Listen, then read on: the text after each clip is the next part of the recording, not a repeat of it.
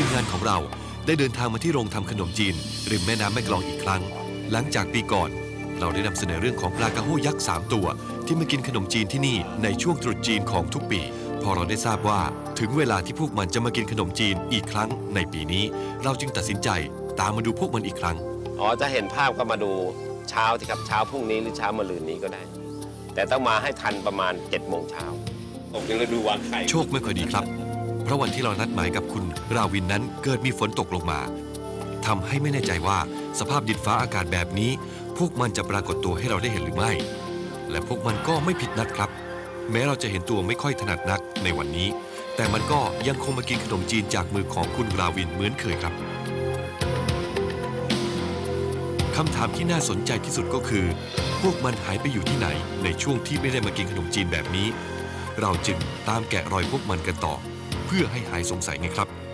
ก็มีแต่คนพูดกระโดดน้ำที่นู่นที่นี่นะแต่ว่าไม่เคยเห็นที่ไหนที่บ้างขึ้นคะแบบนี้ที่ก็บนตามหน้าวัดตามท้องคุ้งตามที่น้ำเชี่ยวเหรอ เดินไปถึงมาแล้วครับมาแล้วมาแล้ว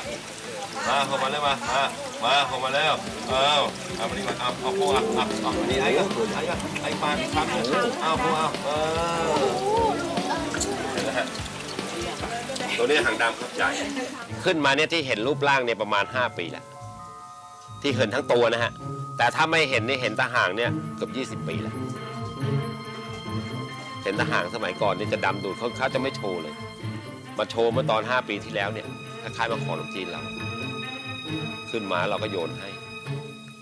พอโยนให้เขาปั๊บตอนหลังเราก็ทำเรื่อยๆเรื่อยๆตอนหลังก็ใช้วิธีตบน้ำพอตบน้ำคล้ายๆก็เรียกเขาอะพอตบน้ำปั๊บเขาก็ขึ้นขึ้นแล้วก็ป้อนป้อนใส่ปากนี่ก็เป็นมาทุกวันนี้ นี่เป็นปีแรก ๆ ที่คุณราวิน เริ่มสังเกตว่ามันจะมากินขนมจีนที่บ้านของเขาครับ หลังจากเคยเฝ้าสังเกตมานาน 2 ปีแล้ว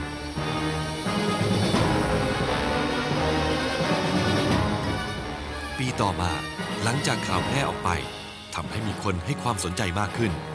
และพวกมันก็พาเอาร่างที่น่าจะหนักมากกว่า 100 กิโลกรัม มาตรงเวลาเหมือนเช่นเคยครับ ข้อมูลล่าสุดที่เราได้ทราบก็คือ แม่น้ำแม่กลองบริเวณนี้ เป็นส่วนที่ลึกมากส่วนหนึ่ง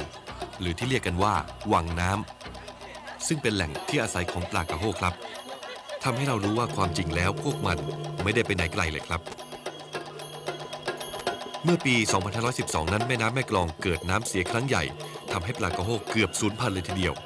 กรมประมงจึงเร่งศึกษาเพาะพันธุ์ปลากระโฮโดยด่วน ซึ่งมาสำเร็จเอาก็ในปี 2517 ครับ จากนั้นอีก 10 ปี คือในปี 2527 ในหลวงของเราได้ทรงพระราชทานพันปลากระโฮในวังสวนจิรดา ให้กรมประมงนำไปขยายพันธุ์ต่อทำให้เป็นไปได้ว่า พวกมันอาจจะเป็นปลากระโฮที่มาจากสวนจิรดาที่เหลือรอดมาตลอด 20 ปี ระดับน้ำที่สูงมากขึ้นประกอบกับพฤติกรรมของปลากระโฮเนี่ยมันจะอยู่ในวังน้ำที่ลึก ถ้าเผื่อไม่ไม่มีวังน้ำที่ลึกตรงนั้น ก็ไปอาศัยวังน้ำลึกตรงอื่น แต่บริเวณนั้นมีข้อสังเกตอีกอย่าง ในช่วงอื่นฤดูอื่นเนี่ยอาจจะมีความเค็มเข้ามาเกี่ยวข้อง ก็ทำให้ปลากระโฮเนี่ยต้องหนีไปอยู่เหนือน้ำหรือต้นน้ำพอถึงช่วงปลายธันวา ระดับน้ำสูงขึ้นน้ำจืดบ่าลงมานี่ก็ทำให้ปลากระโฮนั้นอพยพลงมายังจุดเดิม มันคงมีการอพยพย้ายถิ่นเป็นธรรมชาติของมันอยู่แล้วเนี่ยแต่ลักษณะเด่นก็คือต้องอยู่ที่วังวังน้ำที่ลึก อาหารคนที่เลี้ยงความผูกพันที่ว่ากับความเหมาะสมของช่วงฤดูกาลเป็นเป็นเหตุผลที่ทำให้ประจวบเหมาะในช่วงเนี้ยมันจะมาทุกปี ก็ผูกพันทีเดียวแหละหมายถึงว่าแหมถ้ามันล้มหายตายจากเราก็เสียดายปลาชุดนี้นะสมมติถ้าปลาชุดนี้นะล้มหายตายจากเราก็เสียดายแม้กระทั่งทุกคนที่มาดูใครๆก็บอกกันเนี่ยปลาอย่างนี้น่าอนุรักษ์ปลากระโฮเป็นปลาที่มีส่วนหัวใหญ่ หนึ่งในสามของตัวครับทำให้มันมีความฉลาดพอที่จะเรียนรู้และจดจำจึงเป็นอีกเหตุผลหนึ่งที่พวกมันเชื่องและขึ้นมากินขนมจีนตรงเวลาทุกปี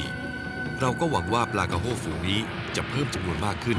และแวะเวียนมากินขนมจีนแบบนี้ตลอดไปครับ ตอนแรกผมเห็นในตัวเดียว แล้วเพิ่งเพิ่มมาเพิ่มมาเพิ่มมาเนี่ยเป็นสามตัวสี่ตัว